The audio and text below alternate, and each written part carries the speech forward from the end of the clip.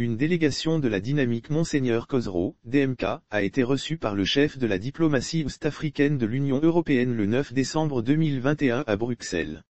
Les discussions ont porté sur la crise sociopolitique au Togo. L'action diplomatique de la dynamique Monseigneur Cosero, DMK, porte des fruits. C'est le résumé de la situation que vivent les organisations de la société civile et partis politiques membres de ce regroupement depuis quelques jours. Le 9 décembre 2021, une délégation de la Dynamique a rencontré l'Union européenne. La rencontre qui a eu lieu au service européen de l'action extérieure a été présidée par le chef division de l'Afrique de l'Ouest, Richard Young. Cette rencontre qui a eu lieu sur initiative de l'UE, s'inscrit dans la droite ligne de la résolution pacifique de la crise sociopolitique que vivent les Togolais depuis la dernière élection présidentielle de février 2020. Il nous souvient que la DMK avait échangé ici à Lomé avec les diplomates du G5. Contrairement à cette rencontre qui a été suivie d'une série de polémiques, celle qui vient d'avoir lieu dans la capitale belge, Bruxelles, a tenu toutes ses promesses, en termes d'écoute et d'échanges. Une rencontre très constructive avec une écoute très appuyée et une discussion assez franche, sans langue de bois et sans détour, assure la DMK qui évoque la possibilité d'une nouvelle rencontre pour la suite. D'après le rapport de l'équipe d'Ashveyome Kodjo, l'UE a émis le vue de rencontrer la DMK, étant consciente qu'il y a un gros souci électoral au Togo.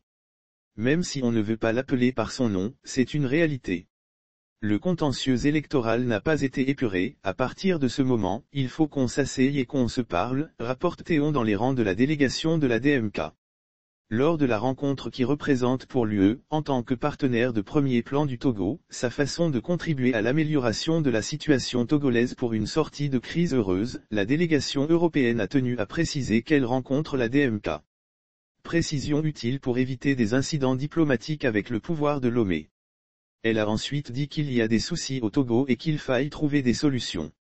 Nous avons réaffirmé que la DMK est l'appareil politique du gouvernement légitime du Togo, a précisé pour sa part la délégation de la DMK. Mais le plus important dans cette rencontre, ce sont les conclusions auxquelles sont parvenues les deux délégations. Au terme de cette discussion, il y a deux choses à relever. La première, c'est qu'il y a de sérieuses réserves sur tout processus électoral ultérieur au Togo. Et donc on ne peut plus parler d'élections sans vider le contentieux du 22 février 2020.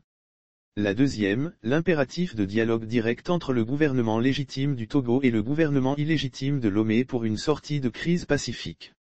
C'est dire qu'on le veuille ou non, sur le plan diplomatique, le bicéphalisme politique existe au Togo et est reconnu sur la plan international, a rapporté la délégation.